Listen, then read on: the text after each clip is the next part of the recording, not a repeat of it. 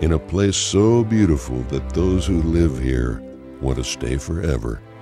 We've spent over a century giving them one more reason to do just that. For generations, we've provided quality health care for the people of our state. We're Kinney Drugs. You're under our care.